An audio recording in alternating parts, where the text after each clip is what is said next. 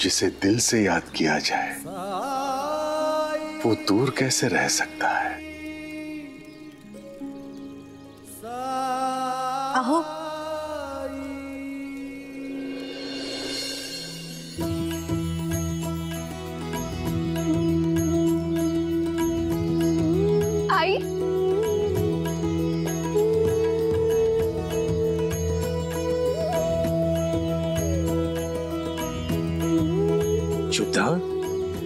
तुम यहाँ कैसे? आपने ही तो संदेश भिजवाया था कि अपने भतीजे गजराज को मंदिर का काम सौंपकर मैं यहाँ आ जाऊँ। मैंने? हाँ जिनके हाथों आपने पैसे भिजवाए थे उन्हीं के हाथों संदेश भिजवाया था मुझे यहाँ आने के लिए। उलझन पर उलझन? ना मैंने पैसे भिजवाए ना संदेश।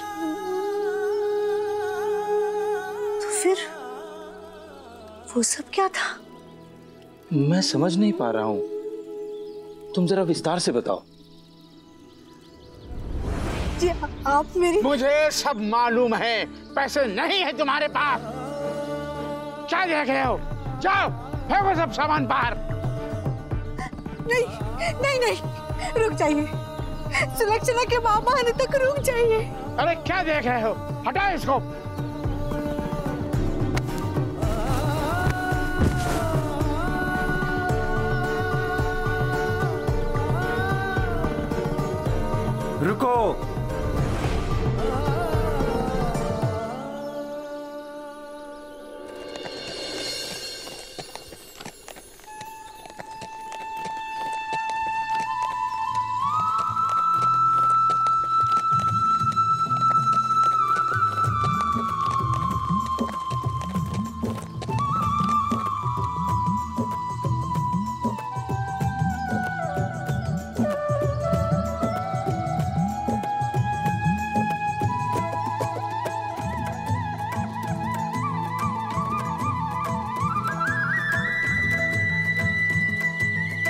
घर काका जी वैद्य का है?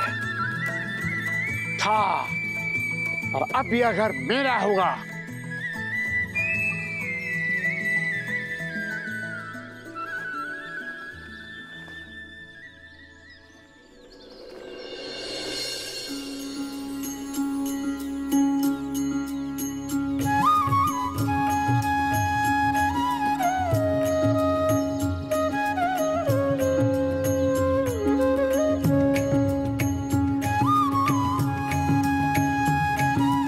अभी भी उन्हीं का है। गिन लो। पूरे हैं।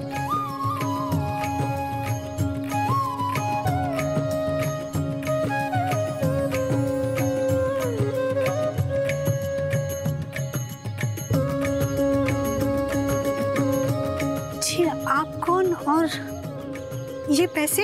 मैं शिरडी से आया हूँ। और ये पैसे काका जी ने भिजवाए हैं।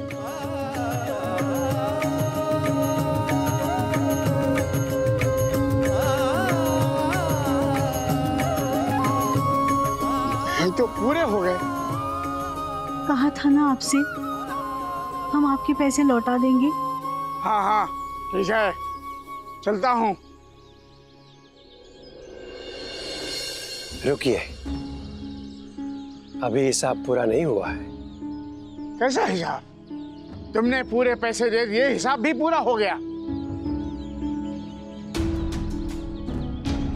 जो अपमान किया था उसका हिसाब तो बाकी है। वो भी तो बराबर करके जाओ।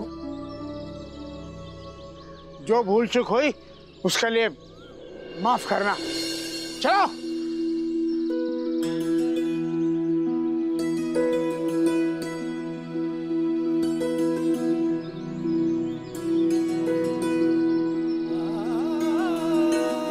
आपका बहुत शुक्रिया। आपने सही समय पर आकर मेरी मदद की। क्या नाम है आपका? मालिक का बंदा हूँ। नाम ज़रूरी नहीं है। ज़रूरी है काका जी का संदेश। उन्होंने आपको शिरडी बुलाया है। कहा है मंदिर में दिया जलाने का जिम्मा। कुछ दिनों तक अपने भतीजे गजराज को सौंप कर शिरडी आ जाइए। सब ठीक तो है ना? सब ठीक होने वाला है।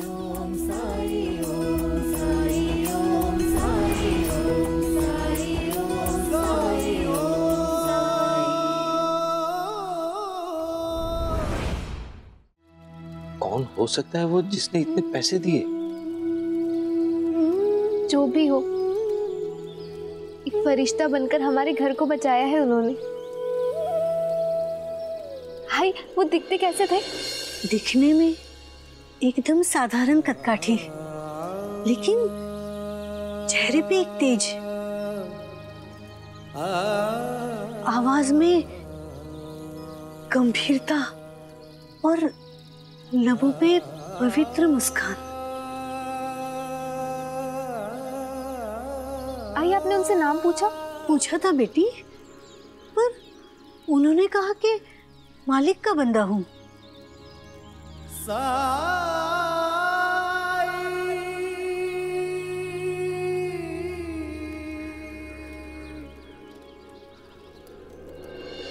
आपने कहा, उन्होंने पैसे एक झोले से निकाले थे। और उनके हाथ में एक चिमटा था। हाँ।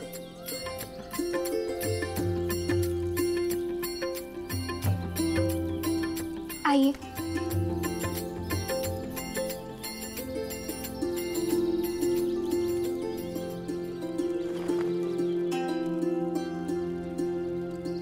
यही चिमटा और झोला था?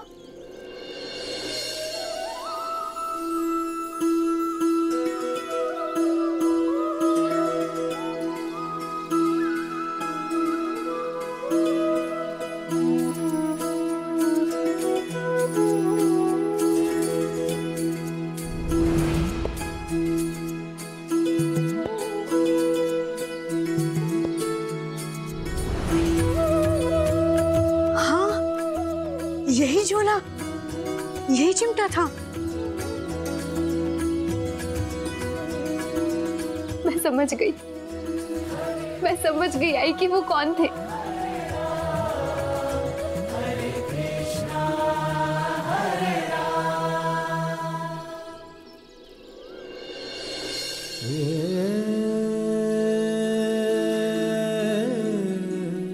आप स्वीकार करें या ना करें, पर मेरी आत्मा जानती कि वो आप थे। शुक्रिया साईं बाबा।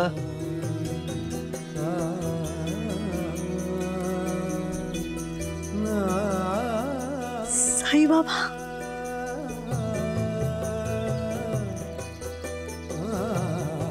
यही है साईं बाबा।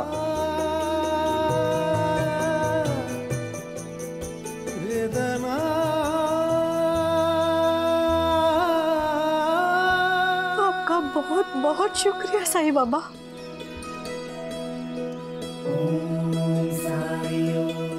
राम जी भला करें।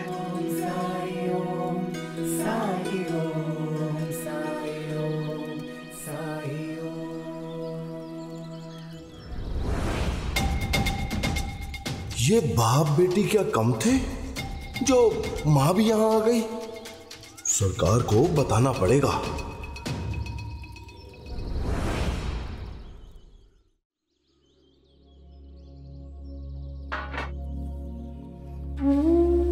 बेटा, कल से तू शहद निकालने जाने वाला है। और इसलिए तुझे खाना भर पेट खाना होगा। मुझे पता है, बीमार पड़ने के बाद खाना अच्छा नहीं लगता। पर खाने से ही तो शरीर में ताकत आएगी। और तभी तो तू उतनी दूर जाके आ पाएगा। इसलिए अच्छे से खा।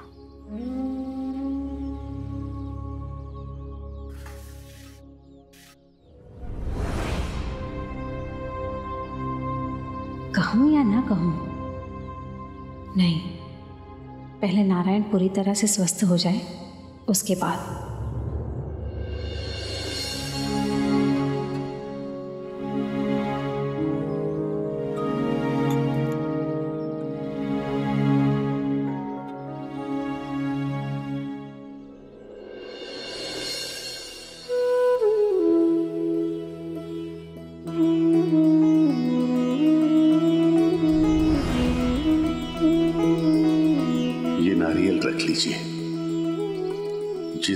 पक जाएगा।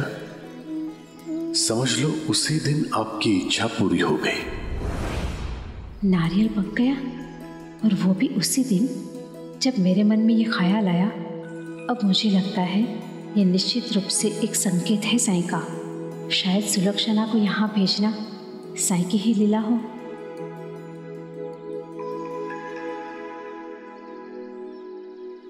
आई? क्या सोचने लगी?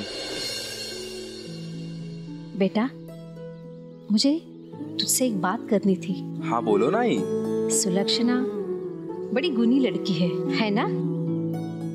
उसकी औषधि ने तुझे इतनी जल्दी ठीक जो कर दिया। हाँ तो?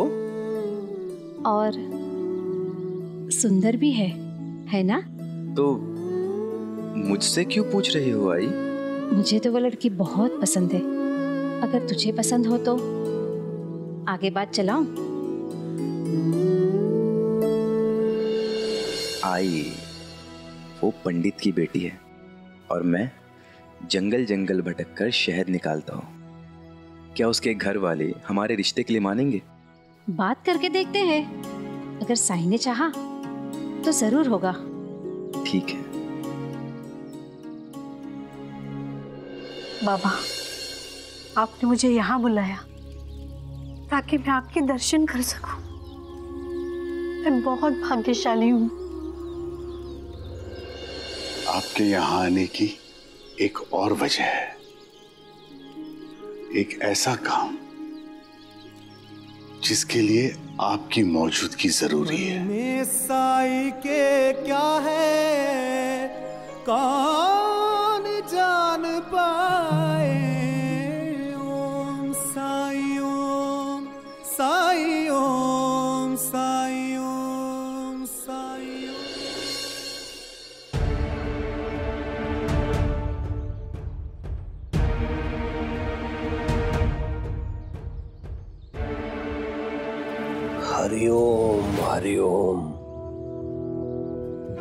उस लड़की की आई भी आ गई यहाँ। संता, मेरा अंदेशा है कि वो बैरागी कोई बड़ी योजना बना रहा है। अगर वो उस योजना में सफल हो गया तो और एक गाँव उसका अनुयायी बन जाएगा।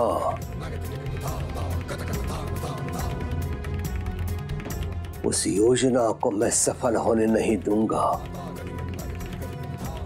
कुछ ना कुछ करना होगा, संता।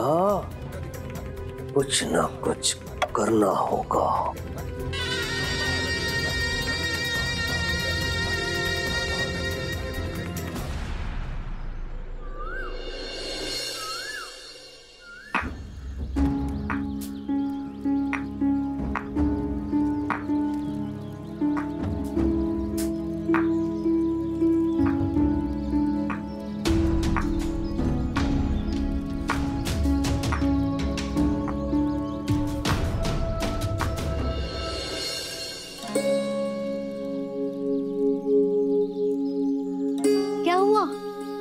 लगी तो नहीं ध्यान से कर। कब से देख रही हूँ बाहर ताके जा रही है।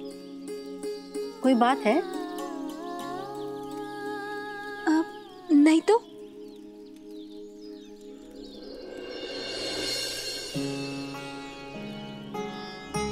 आओ ना रूबा।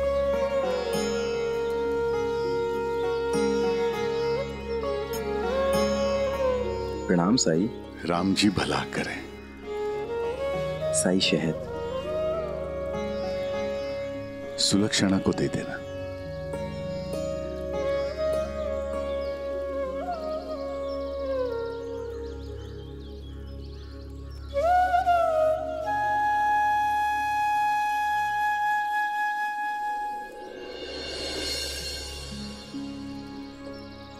नाराज़ थी ना मुझसे कुसुम? नारायण को उदी क्यों नहीं दी मैंने? हाँ शुरू में। मैं समझ ही नहीं पाई। और मैं मूर्ख, ये भूल ही गई थी कि आप जो भी करते हैं, उसके पीछे भलाई छुपी होती है। और जब समझी तो खुद को यहाँ आने से रोक नहीं पाई। जब आ ही गई हो तो काका जी से बात भी कर लो।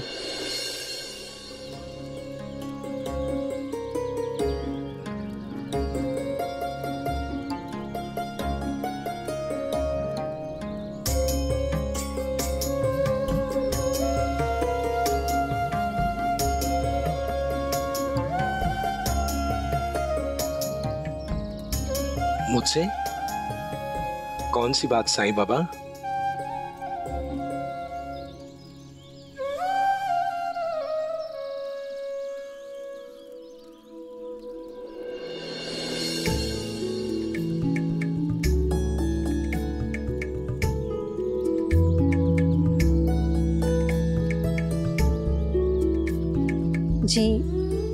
बड़ी सुशील लड़की है आपकी। मुझे ऐसी ही लड़की की तलाश थी।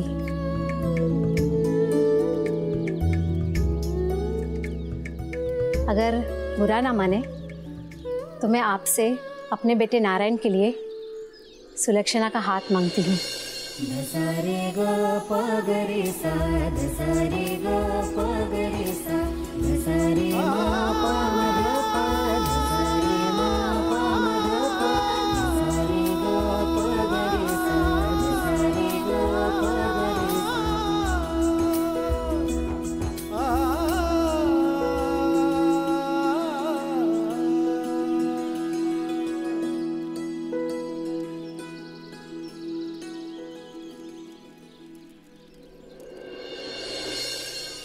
इससे पहले कि आप लोग अपनी बात को आगे बढ़ाएँ, मैं अपने बारे में कुछ बताना चाहता हूँ।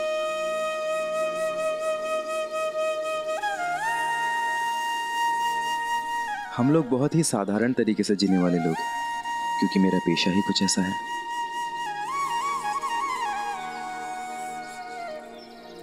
रोज जंगल में घूम घूम कर शहद इकट्ठा करता हूँ फिर उसे बेचता हूँ। कभी कभी शहद नहीं भी मिल पाता है, इसलिए कुछ पक्का नहीं बता सकता कि कितना कमा लेता हो। और जंगल जाकर शहद लाने में खतरा भी रहता है। तो अगर आपको मेरे काम से कोई आपत्ति है तो मैं समझ सकता हूँ।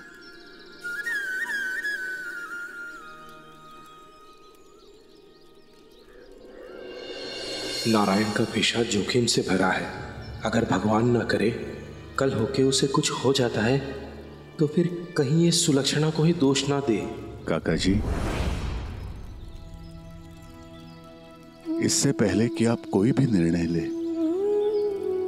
किसी निष्कर्ष तक पहुँचे, मैं भी कुछ कहना चाहूँगा।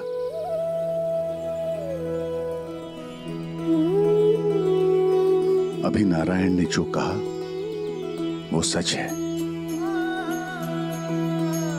इससे ये ज़ाहिर है कि इसका मन साफ़ है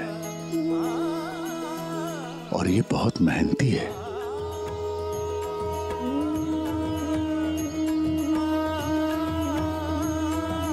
आपने देखा होगा, इसकी तबीयत खराब थी। फिर भी इसने शहद लाने की भरसक कोशिश की। क्रम टूटने नहीं दिया इसने।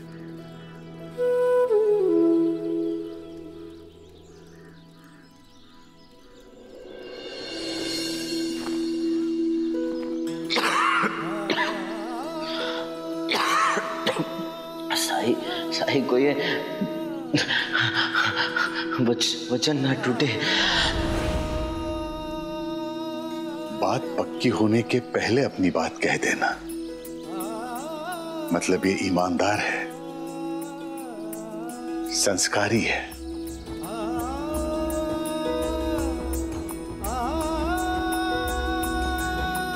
और रही बात इसके काम में खतरे की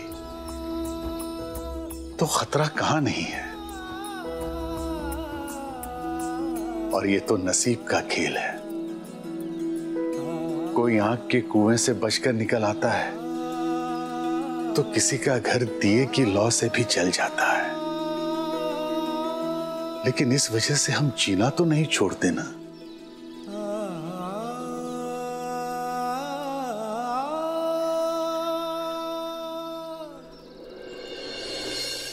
साईं बाबा अगर आप कह रहे हैं कि ये रिश्ता अच्छा है तो सुलक्षणा के भविष्य को लेकर मुझे अब कोई चिंता करने की ज़रूरत नहीं रही।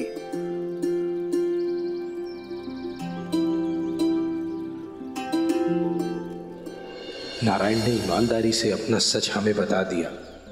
तो हमें भी चाहिए कि हम सुलक्षणा के अतीत के बारे में उन्हें सब कुछ बता दें। वहिनी एक बात और है जो आपको जान लेना बहुत ज़रूरी है।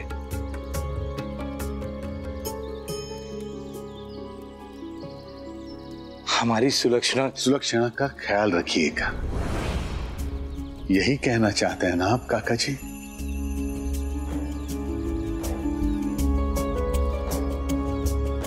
मैं आपकी चिंता समझती हूँ। आप बेफिक्र रहिए। सुलक्षणा को मैं अपनी बेटी की ही तरह रखूँगी।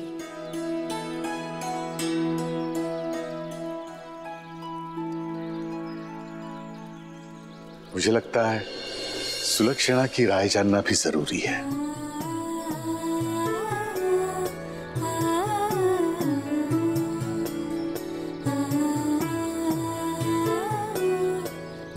सुलक्षणा, क्या ये रिश्ता तुम्हें मंजूर है?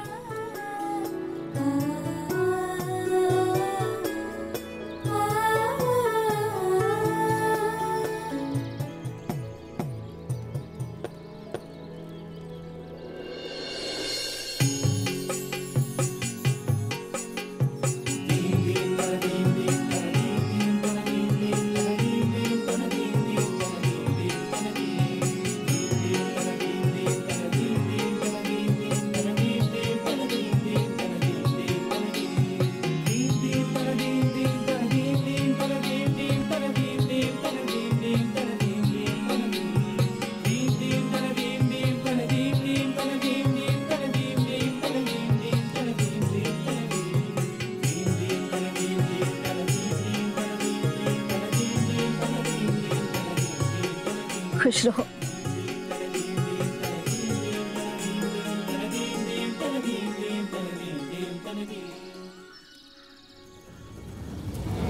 इस अपशगुन की शादी तय हो गई। अब तो हमेशा के लिए ये शिरडी में ही बस जाएगी। सुबह शाम इसका मनूस चेहरा देखना पड़ेगा हमें। मुझे जल्दी से सरकार को बताना चाहिए।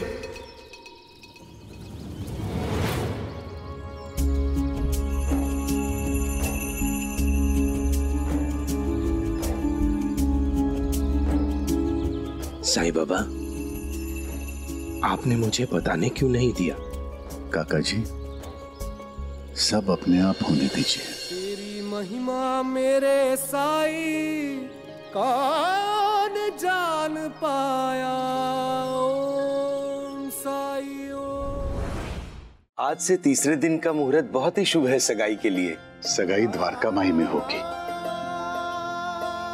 अब आज्ञा दीजिए। घर जाकर सगाई की तैयारी करनी है।